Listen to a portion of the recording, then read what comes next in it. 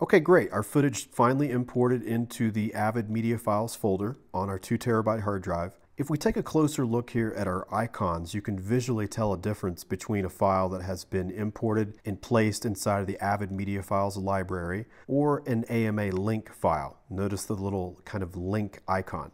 Let's go ahead and double click on our new piece of source material and load it into the source monitor. Now you can see that we can scrub through this footage just like we can with the AMA link, but now this footage is located inside of the Avid Media Files folder.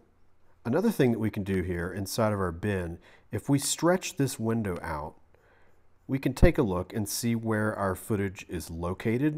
Of course, the duration, video and audio tracks, and then over here is the video compression profile. And here you can see that we have imported to Apple ProRes HQ at 1080p. And the AMA link file is still using the H.264. Now, the computer is going to work faster if we edit and render our effects in ProRes. H.264 is going to slow us down in the long run. We get a short-term fix by being able to bring the file into the Avid and edit right away, but the long-term effects are it could slow us down with rendering. Also notice over here is the audio sampling rate and some other information. Okay, let's go ahead and just stretch this window back. Now let's talk about importing audio inside of Avid. If I double click on my audio bin, and now I want to go ahead and import audio into the Avid library. So this time I'll just use the import option and I'm going to go to my source media, music. Now I'm going to click on my audio. I want my audio to go to the two terabyte drive also.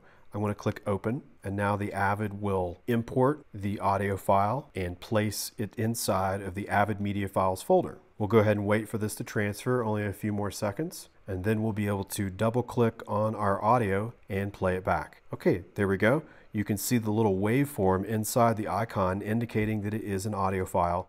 If I double click on the file, we can load it in the source, but notice that we don't see the waveforms. If we want to be able to see the waveforms like we do in Final Cut Pro and in Premiere, we need to toggle our source and record into the timeline. So if I click on the toggle button, we now have the audio down here inside of the timeline, but we still need to be able to see the waveforms. So if we go click on the hamburger or the fast menu and we go to audio data, notice that I can select the waveform.